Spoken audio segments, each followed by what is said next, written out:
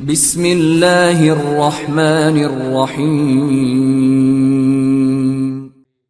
ख़ुद कौम शिया, तमाम तर मुसलमानों में एक मज़लूम कौम है।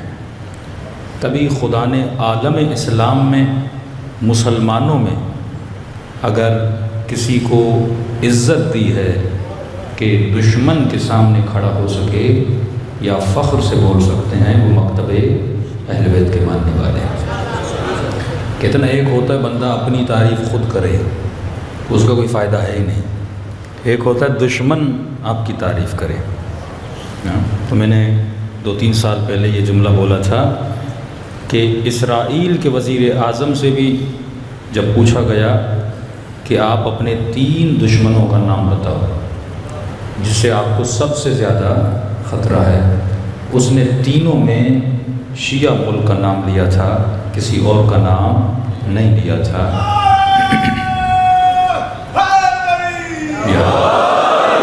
मतलब आज भी अगर दुश्मन किसी से डरता है तो वो शिया आइडियोलॉजी से डरता है।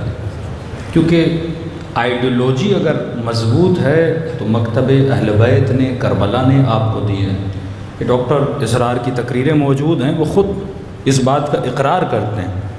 कि एक ज़हूर इमाम ज़माना की आइडियोलॉजी, दूसरा आज़ादारी इमाम हुसैन की आइडियोलॉजी। कि ये वो दरसगाह है जहाँ पे इमाम के सिपाहियों को तैयार किया जाता है।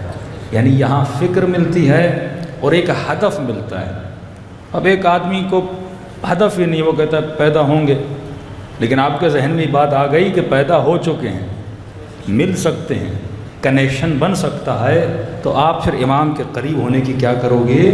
कोशिश करोगे। हर मजलिस में, हर जगह हम दुआ करते हैं। अरे खुदा, इमाम ज़माना का ज़हूर, फरमा दे। मैंने आज तक नहीं सुना। ईद मिलादुलनबी होते हैं, इतनी महफिलें होती हैं। कोई मुसलमान दुआई कर दे खुदा, उसे पैदा कर दे। यानी ये दुआई कर दे कि हज़रत महदी को जल्दी पैदा कर दे। यहाँ ये भी तोफ़ी किसी को नसीब नहीं होती। तो जिसके हाथ में पहले अली का दामन है, वो आखिरी अली के लिए भी दुआ करता है। सलवात पढ़े मोहम्मद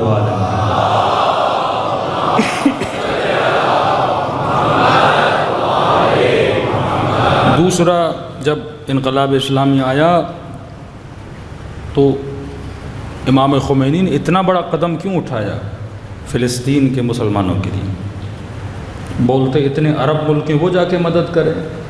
कौमियत की बुनियाद पे, नस्ल की बुनियाद पे, मिस्र आगे बढ़े, सीरिया आगे बढ़े, दुबई आगे बढ़े, सऊदी अरब आगे बढ़े अलजायर आगे बढ़े, भाई हमारा क्या जाए? हम, उनका मकतब, हमारा मकतब नहीं। ऊपर से सारे हमें काफर भी बोलते हैं, और हम जाएँ उनकी मदद के लिए। लेकिन इमाम खुमैनी ने कहा, नहीं जाते जाते हुसैन की वसीयत थी। क्या वसीयत थी? कि मज़लूम जहाँ भी हो, उसकी मदद करना। ये मत देखना उसका मज़हब क्या है, उसका रंग क्या है। जितनी मदद फ़िलिस्तीनियों की अहल बैत के चाहने वालों ने की है, किसी ने नहीं की। पूरे आलम इस्लाम में अगर यौमुलक़ुद्स कोई मनाता है तो कौन है? अहल बैत के चाहने वाले हैं।